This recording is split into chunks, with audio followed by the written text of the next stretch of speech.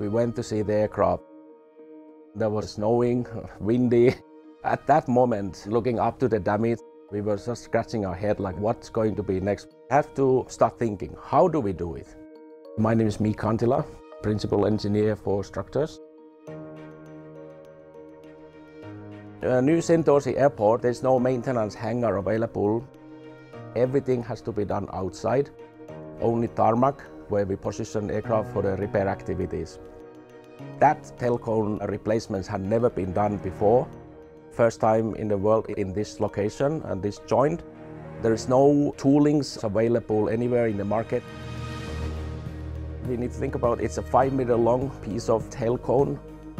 It weighs 280 kilograms. There were so many challenges. Uh, doing that outside,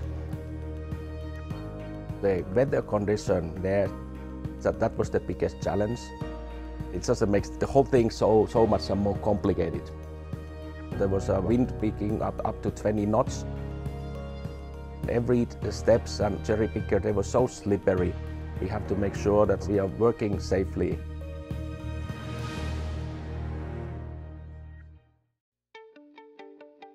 When we hear that Northern to come over and repair for us, we want to do repair ourselves.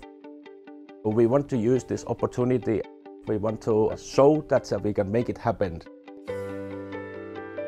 When installing tail cone, there was uh, over 250 fastener holes we have to re-drill, reposition, oversize and inspect. So every dimension check we have to do in precise and once in a time before drilling. We didn't have a choices. There's no spare tail cones around. So there was a lot of maneuvering back and forth. That's why the only option was to design this dolly where we can attach the whole tail cone section.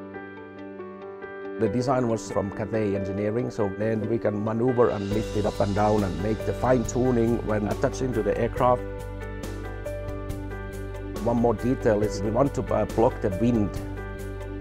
So the next step, we have to build a working platform outside of the aircraft it needs to hold 3,000 kilos in total to be able to lift the dolly and the tail cone up there for the installation process.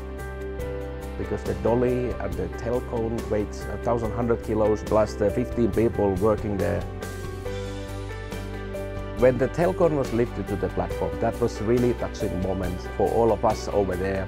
I had a so proud feeling on all the people involved we couldn't have done it without the strong team behind, like Cathay Engineering Structures, Inventory, Maintenance Control, the Narita Chitose Line Maintenance, FlyOps Cargo Chitose Airport team, supported by HAECO Hong Kong, HAECO Jinjiang, Hong Kong CAD, and local Japanese team. That's a great team together.